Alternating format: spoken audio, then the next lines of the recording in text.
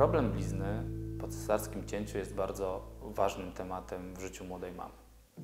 E, jest to spowodowane tym, że blizna jako e, naruszenie tkanki powoduje e, wzrosty pomiędzy skórą, warstwą podskórną, powięziami i mięśniami. Żeby zapewnić prawidłową cyrkulację krwi i limfy, należy dbać o to, żeby każdy poziom tkanki był ruchomy, ponieważ jeżeli będą wzrosty e, mięśniowo-powięziowe czy powięziowo-skórne, będzie to ograniczało ruchomość tkanki. Ta ograniczona ruchomość będzie się przekładała na to, że nasza krew i limfa będzie e, krążyła wadliwie, co będzie doprowadzało do zwyrodnień tkanki łącznej. Dodatkowo będzie, e, patrząc globalnie na nasze ciało, zablokowanie ruchomości tkanki będzie powodowało ograniczenie ruchomości w pewnym momencie możemy mieć problemy z zestawami czy z innymi narządami wewnętrznymi. Dlatego bardzo ważne jest, żeby e, dbać o tą e, bliznę po e, cesarskim cięciu, zacząć od drenażu limfatycznego, żeby przywrócić prawidłowe krążenie płynów. Musimy mobilizować taką tkankę oczywiście już po usunięciu szwów i po całkowitym zagojeniu się tkanki czyli w, ok w okresie około 6 do 8 tygodni. Na początku, kiedy zajmujemy się tkanką, tak naprawdę zajmujemy się tą tkanką troszeczkę dalej od blizny, czyli rozmasowujemy skórę, e, stopniowo zbliżając się e, do blizny właściwej. Dopiero następne manualne mm, zabiegi w formie przełamywania blizny czy e, zrywania wzrostów mięśniowo-powięziowych czy powięziowo-skórnych możemy wdrożyć dopiero po E, całkowitym zagojeniu się blizny.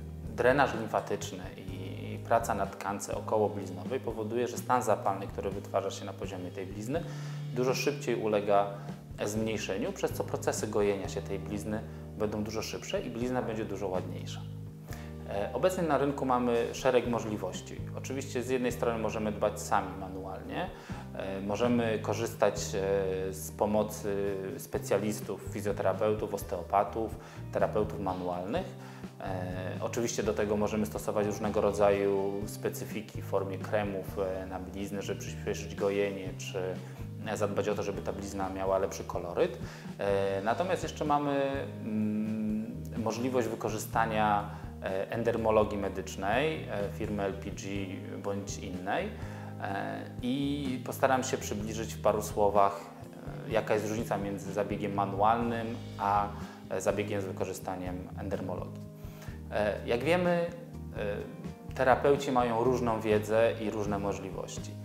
Dlatego zabieg manualny, który będziemy wykonywali u terapeuty, może różnić się między sobą.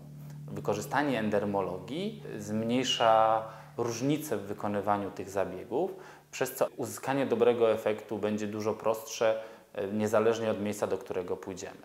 E, pozytywną rzeczą e, pracy z terapeutą manualnym, z osteopatą jest to, że poza pracą na bliźnie będzie pracował na napięciu tkanki,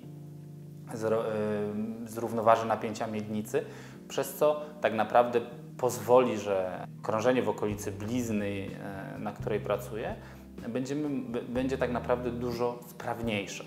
Tak samo w endermologii w dobrych miejscach, e, gdzie te zabiegi są wykonywane, przed samą endermologią także jest przygotowanie manualne.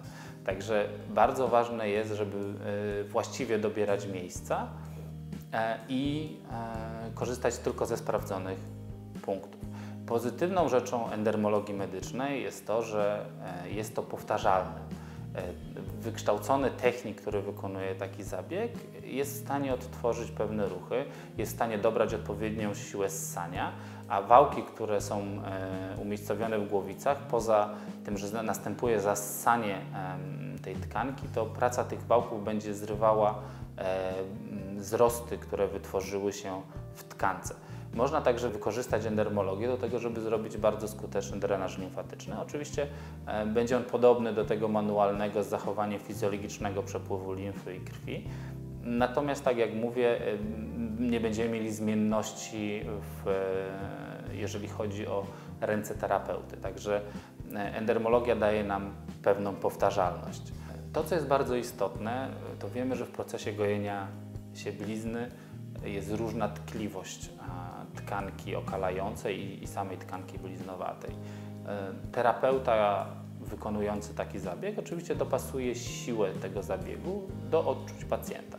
Endermologia może zrobić to samo, ponieważ mamy 10 e, poziomów e, ssania, które możemy e, dobierać odpowiednio do odczuć klienta. Także mamy różne rodzaje e, głowic, które możemy wykorzystywać e, w różnych załamaniach ciała i tak jak powiedziałem, jedne głowice będą e, służyły do zrywania blizn punktowych, z drugiej strony mamy głowice mechaniczne, w którym wałki będą rozwałkowywały tkankę podskórną, zrywając wzrosty mięśniowo-powięziowe. Zanim przystąpimy do mobilizacji blizny, czy to manualnie, czy endermologii medycznej, powinniśmy e, skonsultować się e, z lekarzem prowadzącym, ponieważ musimy być pewni, że blizna e, jest już zagojona.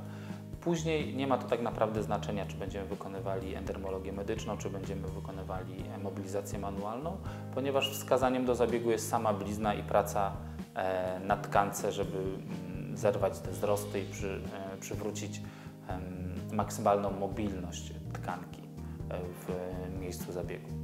Zaleca się od e, 5 do 10 e, zabiegów e, mobilizacji blizny, czy to manualnie, czy endermologią medyczną. E, Tak czy owak, czy będziemy wykonywać to e, endermologią, czy e, będzie to wykonywał osteopata, terapeuta. Bardzo ważna jest autoterapia manualna e, w domu, także e, zaangażowanie w domu jest bardzo, bardzo istotne.